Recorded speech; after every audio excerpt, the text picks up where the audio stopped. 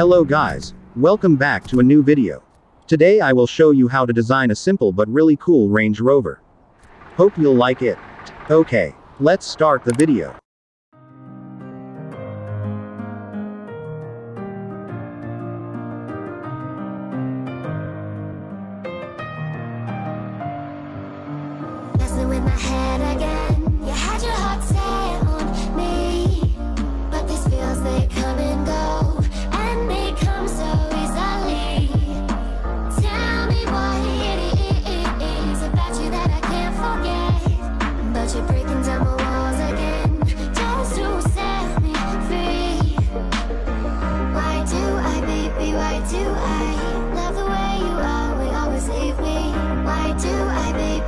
do I